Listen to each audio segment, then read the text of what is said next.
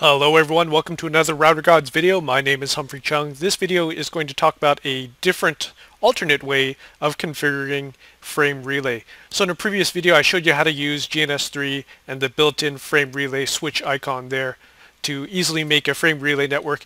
In this video I'm going to show you how to do it by actually configuring the router to act like a frame relay switch. So a little bit more manual, but it does let you see how things are routed. gives you a couple extra more commands and basically you get to pretend to be the phone provider. So like a Verizon, uh, GTE, well GTE no longer exists, so that would be Verizon, Sprint, that type of stuff.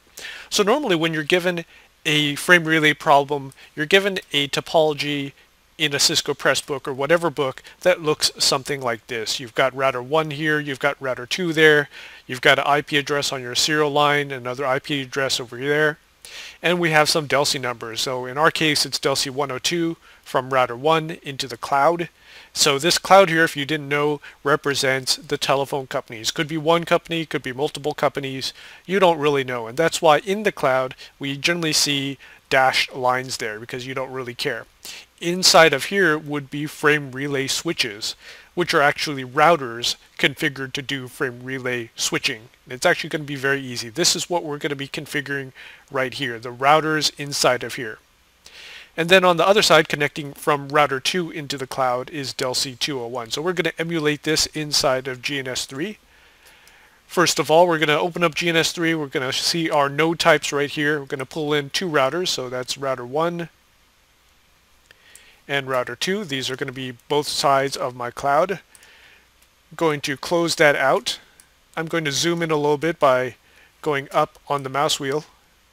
And then we need to configure serial interfaces on these because by default these will have fast Ethernet. So you can see the fast Ethernet in slot 0. I'm going to go into WIC 0, give myself uh, WIC 1T is fine. I only need one serial line, serial port. Go into R2, go into slots, WIC 0 again on router 2. I'm also going to click this icon here that says show interface labels. That's going to make things a little bit easier. And also I need to pop a router in there, so I probably should not have closed my node types dock. I'm going to drag another router in the middle. Okay, so remember, in the books, you see this as a cloud. When you're doing this in GNS3, the cloud is represented by another router. And we're going to change the host name on this and just call it frame in capital letters. So it's right there. Going to need to add in two serial ports. So go to configure frame slots WIC 0 and make it a WIC 2T. We're going to click OK. And we need two slots because one is going to connect to R1 and the other is going to connect to R2. I'm Going to click on add a link, click on that, go to R1, it's going to be 000, go to frame 000, and from frame 001 to R2 serial 00. And you can see here that because we have our show interface labels selected, we see these labels right here. If we didn't, it would be like that, blank, which makes things a little bit difficult. So we're going to get our labels back. We're also going to put some text here. You don't have to, but it just makes things a little bit easier to understand. So DLCI 102 on R1 side and DLCI 201 on R2 side. The DLCI numbers don't have to be inverse, but in most textbooks you will see this inverse relationship 102, 201, 103, 301, that, that type of numbering scheme, just because it's easier to remember. You don't need to do local addresses, you don't need to um, put the same, you don't need to have different numbers on the links. These could actually be 102 and 102 if you wanted to uh, do it that way. Uh, it all will work the same. Okay, so now we're going to set this up. First of all, we are going to, it's probably easier to go on router, router 1. And before I do that, let me add in some IP addresses here.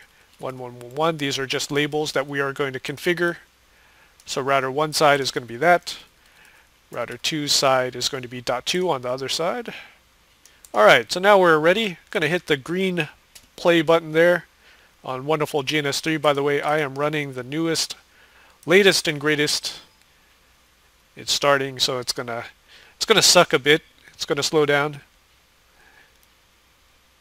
I believe this is 0.7.4.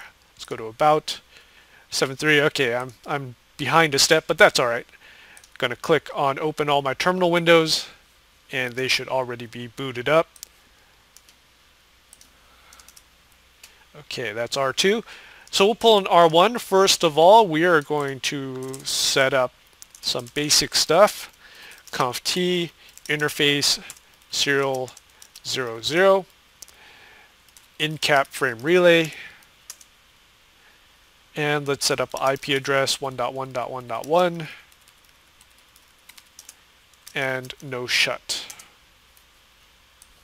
Some people would prefer to do this later after the frame relay switch is configured. Here it doesn't really matter, we're doing this for practice anyway, so we could kind of do this in whatever order. Go to router 2, conf t, interface, whoops, serial 00, encap frame, and IP address 1.1.1.2. Alright, so there we go. We're going to go into our frame re relay switch right here. And let me move my terminal window just about there.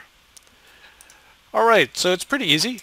Go to enable, conf t, and a couple things we want to do. We want to actually go into the interface itself. So we want to go into interface serial 00. We're going to do a command. We since we are pretending to be the we are pretending to be the telephone company, we are going to need to set a clock rate. Okay, so clock rate, and that is because we're going to be giving this to the customer. We're going to kind of, you can kind of think of it as we are forcing a clock rate to the customer. Okay, so the easy way to do that is we go into interface and we're going to say clock rate and we do a question mark. Whoa. Oh, first we need to do encap frame. Sorry about that. Encap frame relay. Then we should have clock rate. Clock space rate. And then let's do uh, 5600. Sounds pretty good. Let's see if we have that. 5600, 56,000, sorry about that. And then we need to set the frame relay interface type. Reason for that is one side is DTE and one side is DCE. Okay, generally the customer side is going to be DTE, and we are considering we are configuring the phone company side, which is DCE, carrier or communication. However, you learned it in your book. So usually I think of DCE as carrier side. So that's pretty easy. Frame relay INTF, hit tab, and that's going to complete it. Funny thing here is if you do interface question mark, you're not going to get interface type. So this is actually a little gotcha there. So INTF, hit tab, and then DCE. Frame relay switching. Okay, so we forgot one step. Globally, frame relay switching. So IOS is pretty helpful tells you what you need to set up. Now we go back to interface serial 00, frame relay interface type, DCE. There we go. Okay, after we've configured the interface type on the interface, we've done it to DCE, we're now going to configure frame relay route statements. Now, you would think that the route statements would be put on global config, but they're actually not. You have to go into the interface itself. And to show you that, if we type in frame relay right there, in global config, we get address, delist, switching, all that stuff. So no frame relay route allowed there. So we actually have to go to interface 000, pop into there, and now we're going to say frame relay, do a question mark, and you can see here we do have a frame relay route statement right there. So frame relay route question mark input DLCI to be switched, so we are going to say 102 because 102 is going to be hitting us. Frame relay route 102, question mark, the word interface, and then what interface it's going to go out of. So we get it from 102, it hits our serial 00, and it's going to be chucked out of serial 01. So interface serial 0 slash 1 question mark, and then the DLCI that it's going to go out of. So we're going to say The exit DLCI right here is 201.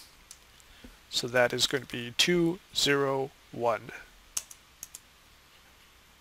Okay, after we've configured serial 00, we're going to step over to serial 01, serial 01, and basically this is the mirror image of the other side. So we're going to do encap frame relay, going to do a clock rate of 56,000. We're also going to do frame relay interface type. Remember this is abbreviated, so INTF and going to set this side to DCE as well. Finally, we're going to add our frame relay route statements. And on this side, it's going to be incoming of DLCI 201. So frame relay route 201, the word interface is going out serial 00.